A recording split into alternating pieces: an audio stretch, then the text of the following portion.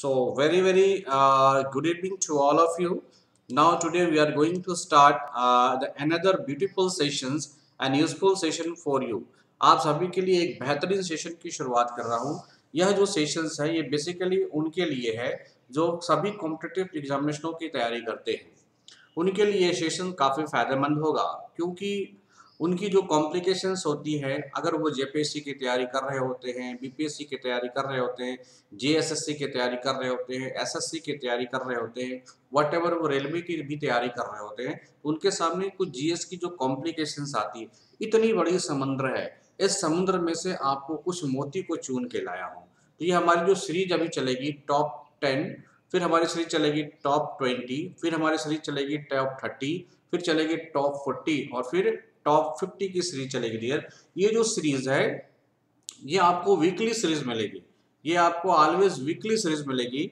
तो संडे को संडे आपको ये सीरीज़ मिल जाया करेगी ओके तो संडे स्पेशल आपको जीएस एमसीक्यूज की सीरीज़ आपको मिल जाया करेगी करेक्ट आइए इस सेशन की खासियत क्या है कि आ, इस सेशन में आपको पॉलिटी के भी क्वेश्चंस मिलेंगे जोग्राफी के भी क्वेश्चंस मिलेंगे इनमें इकोनॉमिक्स के भी क्वेश्चंस मिलेंगे और हमारी जो करंट अफेयर्स की वीकली चलती है, वो तो आपकी एजिटिस चलती रहेगी, करेक्ट? इसके अलावा मैं इकोनॉमिक्स की क्लासेस को चालू कर रहा हूँ। जैसे इकोनॉमिक्स की क्लासेस किस पे बेस्ड होगी, वो आपकी पूरी जेपीएससी बीपीएससी पे बेस्ड होगी ओके और साथ ही साथ एकेडमिक क्लासेस को भी मैं बहुत जल्द शुरू करने वाला हूँ।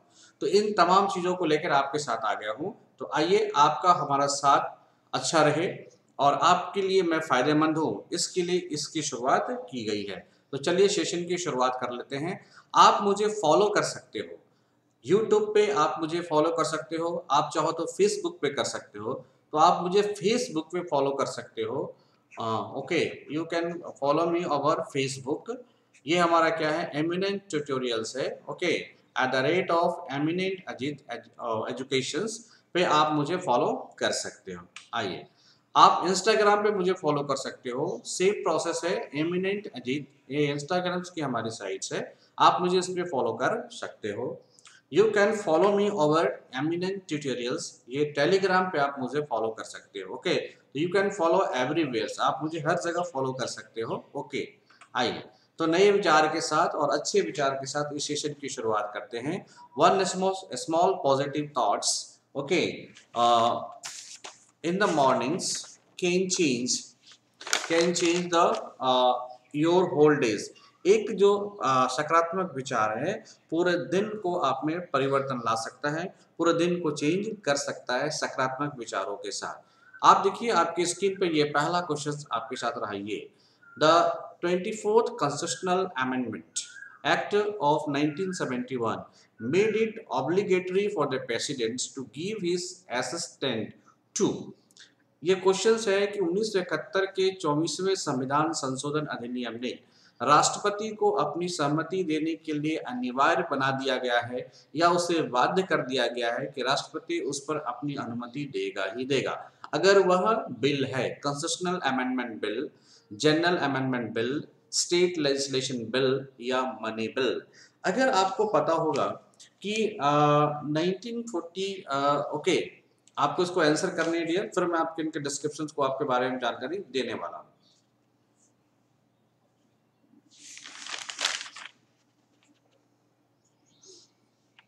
आइए, समय आपका समाप्त हुआ, अब हम आगे चलते हैं। तो कॉन्स्टिट्यूशनल अमेंडमेंट बिल ये जो कॉन्स्टिट्यूशनल अमेंडमेंट बिल है इट मीन्स ये जो बिल है, ये तो both the houses both the houses both the houses में इस बिल को अगर पास कर दिया गया है तो उन्नीस में आपकी संविधान संशोधन हुई थी, जिसे ट्वेंटी फोर्थ कॉन्स्टिट्यूशनल अमेंडमेंट कहा जाता है। इसके आधार पर प्रेसिडेंट्स को अपनी सहमति देना कंपलसरी कर दिया गया है। साथ ही साथ पावर दे दिया गया है पार्लियामेंट को। इसमें पावर दे दिया गया है किसको? पार्लियामेंट को। Power power given to power given to parliament. Power given to parliament to amend the any legislations. या जो भी आपके पास कानून है, उसको बिल लाने का है और उसमें आप अमेंडमेंट कर सकते हैं, किसी भी तरह के कंस्टिट्यूशनल अमेंडमेंट कर सकते हैं।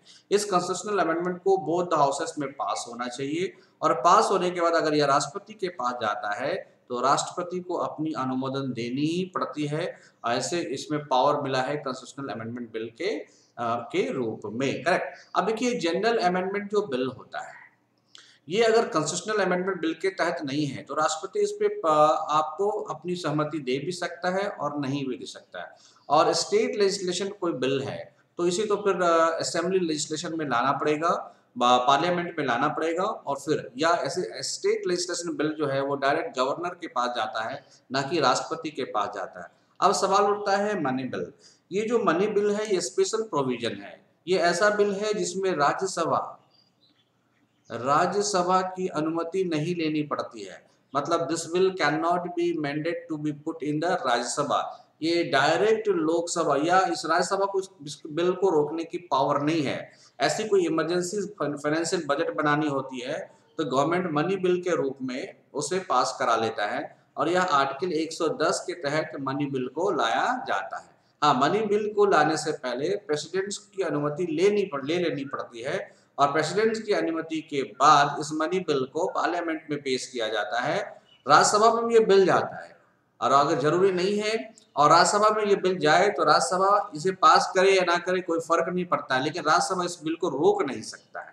ये पावर आपको है मनी बिल के अंदर। तो आप देख रहे हो कि twenty fourth constitutional amendment act की बात करोगे तो उन्नीस सौ इकहत्तर में देखने को मिला था। इसमें दो बातें आई थी। फ़र्स्ट ये बात कि पार्लियामेंट को ये पावर दे दी गई कि वो अपने ज़रूरी कॉन्स्टिट्यूशनल अमेंडमेंट कर सकता है।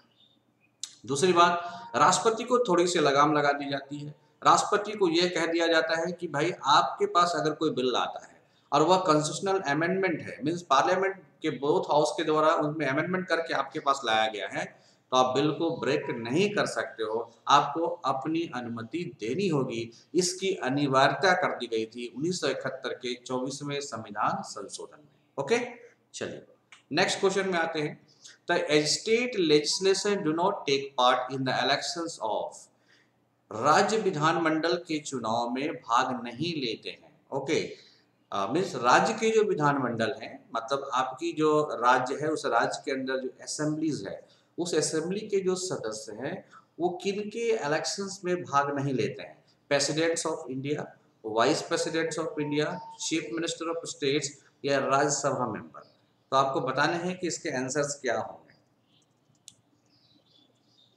आंसर होंगे dear vice presidents of India आपको पता है कि वाइस प्रेसिडेंट्स ऑफ़ इंडिया की जो इलेक्शंस होती है, उस इलेक्शंस में ओके तो आप देख रहे हो कि इनकी जो इलेक्शंस होती है आर्टिकल 66 के तहत होता है ओके और भारत के पास एक वाइस प्रेसिडेंट होगा, ये आर्टिकल 63 के तहत कहा जाता है, और अगर देखोगे कि सबसे पहला कौन थे तो doctor S Radha Krishnan S Radha Krishnan जो है, वो सबसे पहले वाइस प्रेसिडेंट थे, उपराष्ट्रपति थे भारत के। ओके, अब इनमें जो है, इनका जो इलेक्शंस होता है, उपराष्ट्रपति का छियासठ के तहत होता है।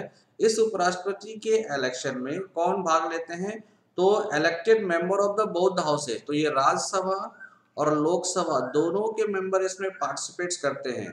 साथ ही साथ elected member of legislative assembly okay elected member of legislative assembly correct ना? तो क्या ये भाग लेते हैं? तो ये भाग नहीं लेते हैं। अपर हाउस या लोअर हाउस के लोग ही इनका सिलेक्शन कर देते हैं। बट अगर आप राष्ट्रपति की बात देखोगे तो आपके लोकसभा आपके बात करोगे तो elected member of both house Rajya Sabha और लोकसभा के दोनों सदस्य, साथ ही साथ असेंबली विधान राज्य विधानसभा के अध्यक्ष सॉरी के सदस्य और साथ ही साथ दिल्ली दिल्ली एंड पुडुचेरी जो यूनियन टेरिटरीज है, इनके सदस्य भी प्रेसिडेंट्स के इलेक्शन में पार्टिसिपेट्स करते हैं। ओके इलेक्शन ऑफ़ प्रेसिडेंट्स आपका कितना है? सिक्सटी इलेक्शन ऑफ़ प्रेसिडेंट्स अगर आप बात करोगे तो 54 के तहत देखने को मिलता है। तो यहाँ से इलेक्शन 54 के तहत देखने को मिलेगा, इसका इलेक्शन 66 के तहत देखने को मिलेगा, और राज्यसभा और ये चीफ मिनिस्टर तो चीफ चीफ मिनिस्टर में तो ओनली असेंबली चीफ मिनिस्टर का तो इलेक्शन होता ही नहीं है, इनका क्या होता है? सिलेक्शन होता है। ओके चलिए तो राज्य विधानमंडल के सदस्य किन में पार्टिसिपेट्स नहीं करते next who launch the newspaper Bombay Chronicle during Indian struggle for स्वतंत्रता के के लिए भारत के संघर्ष के दौरान अखबार बॉम्बे क्रॉनिकल का शुभारंभ किनके द्वारा किया गया था? महात्मा गांधी, पंडित जवाहरलाल नेहरू, फिरोज शाह मेहता और लाला लाजपत राय तो आप आंसर की दृष्टि से देखोगे तो फिरोज शाह मेहता। फिरोज शाह मेहता, ओके एक्चुअली ये फिरोज शाह मेहता जो थे बेसिकली फिरोज शाह मेहता की अगर आप बात करोगे, इनके बारे में जानने का प्रयास करोगे कि फिरोज शाह मेहता का स्पेशल फीचर्स क्या है, या फिरोज शाह मेहता क्या हस्ती रखते थे? तो बेसिकली आप बात करोगे तो यह एक पर्शियन नागरिक थे। क्या थे? तो ये ही ए पर्शियन नागरिक थे। और बेसिकली ये एक लॉयर के रूप में काम कर रहे थे। किधर? तो बॉम्बे हाई कोर्ट के अंदर। ये बॉम्बे हाई कोर्ट के अंदर एक लॉयर के रूप में काम कर रहे थे। साथ ही साथ म्यूनिसिपल म्यूनिसिपल साथ ही साथ जो municipal municipal charter municipal charter plan जो होता है, इन्हीं के द्वारा बनाया गया था 1872 के अंदर। और साथ ही साथ ये सिक्स सेशन सिक्स सेशन जो कि कैलकाटा में हुई थी 1890 में, जो कि कैलकाटा में हुई थी, कैलकाटा के अंदर हुआ था six session of Indian National Congress तो आईएनसी की जो छठी बैठक हुई थी, उसकी अध्यक्षता भी किसने किया था? तो फिरोज शाह मेहता ने ही किया था। ओके तो फिरोज शाह मेहता एक पॉलिटिशियन थे और एक लॉयर भी थे और ये किन पॉलिटिशियन और लॉयर किधर के थे? तो मुंबई के। तो इन्होंने एक न्यूज़पेपर निकालते थे, उनका नाम था Bombay Chronicle answer is your Firoz Shah Mehta. Okay correct चलिए। The Government of India Act 1935 was based on the recommendation of Bharat सरकार अधिनियम 1935 किसकी सिफारिश पर आधारित थी? आपको पता होगा कि 1919 में भारत के लिए एक कानून बना था। शासन प्रणाली बनी थी। उसकी समीक्षा के लिए आपके, हर 10 सालों पर पर्सन को भेजा। जाता था। ओके, जो आप देखा था कि साइमन कमीशन आए थे और इस साइमन कमीशन के रिकमेंडेशन के आधार पर 1935 में 1935 एक्ट का फॉर्मेशन किया गया था। भारत सरकार अधिनियम 1935 किसकी सिफारिश पर आधारित थी? तो साइमन कमीशन अब देखते हैं कि ये साइमन कमीशन क्या था। बेसिकली ये सेवेंथ मेंबर कमिटी थी। Simon commission is the seven member of parliament ये पार्लियामेंट के सात मेंबर की कमेटी थी, ओके? और किसके मार्गदर्शन में ये भारत आई थी? तो साइमन जी के मार्गदर्शन में यह कमेटी भारत आई थी, ओके? टू किसके लिए? To studies to studies to studies the constitutional, to studies the constitutional reform. किस तरह के कॉन्स्टिट्यूशनल रिफॉर्म देखने को मिलते हैं, इनकी स्टडीज़ के लिए ये यहाँ आए थे कौन? तो साइमन कमीशन आया था ओके और ये साइमन कमीशन कब आया था? तो 1928 में आया था। आपको पता होगा इसे आना चाहिए था 1929 में बट साइमन कमीशन जो है 1928 में ही चला आया ओके तो आप आंसर करोगे और इसमें लाला लाजपत राय को ने कहा था साइमन कमीशन गो बैक जिससे लाला लाजपत राय को एक चोट लगी थी और लाला लाजपत राय की मृत्यु भी हो गई थी। तो गवर्नमेंट ऑफ़ इंडिया एक्ट जो 1919 थी, उसकी समीक्षा के लिए गवर्नमेंट ऑफ़ इंडिया एक्ट 1919 की समीक्षा के लिए इनकी ऑब्जर्वेशन के लिए इनकी रिफॉर्मेशन स्टेटस को देखने के लिए जानकारी लेने के लिए सात सदस्यीय जो है एक साइमन कमीशन भारत आया था। ओके ये साइमन कमीशन भारत आया था और इसी के आ, आ, रिपोर्ट के बेस पर 1935 एक्ट को तैयार किया गया जिससे हमारा कॉन्स्टिट्यूशन भी बना है। ओके और ये सेवन मेंबर कमिटी थी जो साइमन सर जॉन साइमन के मेंबर चेयर चेयरशिप में ये कमेटी भारत का दौरा की थी। तो answer is your Simon commission in Vedic period ढिशका was an ornament of ये जो वैदिक पीरियड था वैदिक काल जो था इनमें जो है जो निष्क था निष्क था वो ऑर्नामेंट था ये गहना था जिसका प्रयोग लोग करते थे आ, गर्दन में पहनने के लिए नेक में, हैंड में, लेग में एंड कंप्लीट बॉडी में। ये बेसिकली क्या था? नेक था। इसी से डियर एक ऑर्नामेंट्स की शॉप है, जिसका कमीशन है टाटा प्लग निष्का इसका नाम है तनिष्का तो तनिष्का जो है टाटा की अपनी ज्वेलरी शॉप है ओके और ये इसके वैदिक पीरियड से इसका नाम लिया गया है निस्क से okay neck what is the Indian rank on the global hunger index तो इंडिया की जो है ग्लोबल हंगर हंगर इंडेक्स में कितनी रैंक है, ये आपको बता दिया। तो इंडिया की जो रैंक है, वो नाइन्टी फोर्थ रैंक है ग्लोबल हंगर इंडेक्स में। अगर पूरे वर्ल्ड में देखोगे तो 107 कंट्रियों के बीच में ओके नो सॉरी इंडिया की जो पहले रैंक थी, वो 107 थी। इस रैंक की शुरुआत 2006 में हुई थी। इस तरह का एक जेंडर जो है ग्लोबल हंगर इंडेक्स को तैयार किया जाए, ओके? और इसमें जो है ग्लोबल हंड्रेड जो आपके पास जो रिपोर्ट्स है, उसके जो पॉइंट्स है, भारत को 7.2 परसेंट का पॉइंट्स मिला है, okay?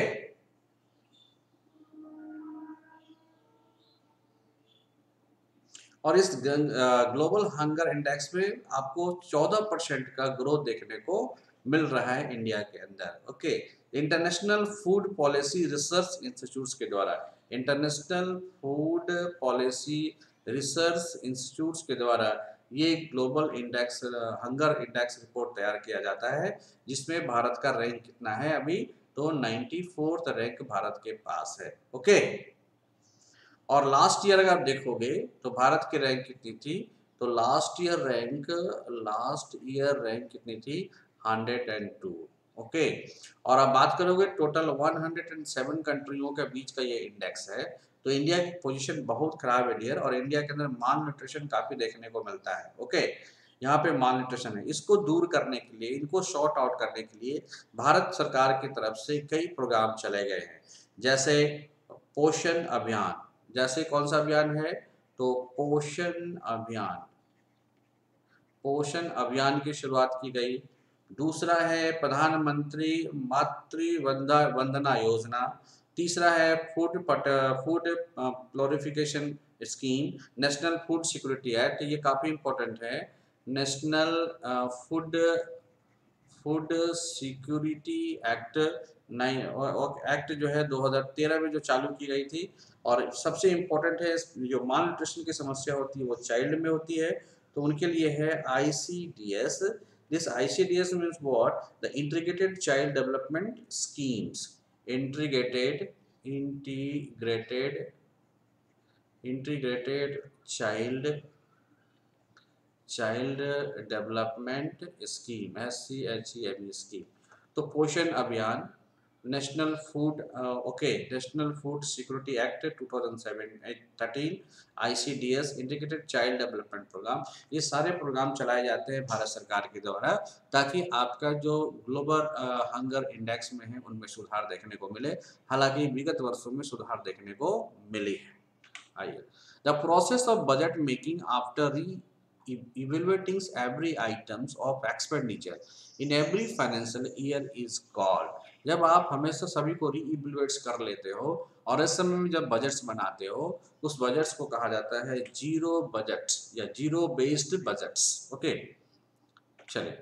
Lonar lake is an example of crater lake full lake hot water lake and sweet water lake answer होगा डियर क्रेटर लेक ये क्रेटर किसको कहते हैं? आपको पता होगा कि ये जो ज्वालामुखी प्लेसेस हैं, यहाँ से जो ज्वालामुखी की उद्गार होगी और इस ज्वालामुखी की उद्गार की वजह से आपका क्या बनेगा? ये आपका बाहर में आता है लावा। ये क्या आता है? लावा। तो लावा जब बाहर बार बार निकल रहा है तो इसके क्या होते हैं? छिद्र काफ़ी बड़े होते हैं और ये जब बड़े होते होते होते होते इनकी रेडियस 100 मीटर तक चली जाती है 100 किलोमीटर तक चली जाती है तो यहाँ पे जो वाष्पीकरण सबसे ज़्यादा H2O निकलता है इससे तो ये जब वाष्पीकरण होता है तो वाष्पीकरण में जो लावा के साथ जो जलवाष्प निकलते हैं, वो ठंडा हो जाते हैं और इस ठंडा होने के कारण झील का निर्माण होता है और इसे आप ग्रेटर लेक कहते हैं, ओके? क्योंकि जब इनकी क्षेत्र बड़ी हो जाती है, इनका रेडियस बढ़ जाता है तो उसे हम लोग क्रेटर्स कहते हैं और इनके प्रिसिपिटेशन के वजह से जो पानी ठंडा हो जाती है, उसको हम लोग क्या कहते हैं? क्रेटर लेक्स कहते हैं, ओके? तो भारत में एक झील है, जिसका नाम है लोनार झील।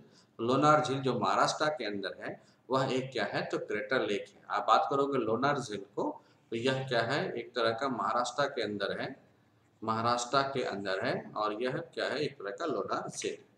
ओके गंगा बाल लेक इज़ लोकेटेड इन ये गंगा बाल लेक किन जगहों पे एकत्रित है, या किस जगहों पे पाया जाता है? आंसर होगा डियर जम्मू एंड कश्मीर आइए। लास्ट क्वेश्चन है। Who is the author of the books a song of India okay ये सॉन्ग ऑफ़ इंडिया के राइटर्स कौन है? भारत की पुस्तक, गीत का लेखक कौन है? तो रस्किन बॉन्ड लेखक कौन है तो रस्किन बॉन्ड है। बेसिकली जो रस्किन बॉन्ड है, ये बेसिकली इंडियन ऑथर्स हैं। Indians Indians authors Indians authors of British और ये ब्रिटिश के अंदर इंडिया के ऑथर्स हैं। Okay Indian author of British okay he lives with his adopted family in London तो ये फैमिली जो अडॉप्ट की गई थी लंदन के अंदर, वहाँ पे इनका निवास होता है। बेसिकली इनका जो मूड है, इनकी जो हैबिट है, वो बिल्कुल चाइल्ड के जैसी है। तो चाइल्ड पर जितनी बुक्स लिखी जाती है, वो उनमें इनका काफ़ी योगदान है। इसलिए रक्सकिन बॉन्ड को ए सॉन्ग ऑफ़ इंडिया कहा कि बुक के राइटर माना जाता है। ओके तो जी आपका टॉप टेंस क्वेश्चन हुआ, जो कि शायद आपके एग्जामिनेशन में काफ़ी मदद करे। इस तरह की सीरीज़ आपको वीक में ओनली वन टाइम्स मिला करेगी। ओके बाकी हमारी इकोनॉमिक्स की रेगुलर शुरुआत हो रही है बुधवार से। ओके सॉरी मैंने कहा थर्सडे से बृहस्पतिवार से आपको इकोनॉमिक्स के सेशंस मिल जाएँगे। करेक्ट चलिए। So thank you you just have to subscribe for further videos eminent tutorials. अगर आप देखना चाहते हैं आगे के वीडियोस को, इकोनॉमिक्स के क्लासेस को देखना चाहते हैं तो एमिनेंट ट्यूटोरियल्स पे आप ज़रूर से ज़रूर सब्सक्राइब करें। आपको अगर इस वीडियो का पीडीएफ चाहिए तो आप टेलीग्राम पे जाके संपर्क कर सकते हैं। टेलीग्राम में मैं इस का वीडियो का पीडीएफ भेज दूँगा। Thank you thank you thank you. You have to follow me on the Telegrams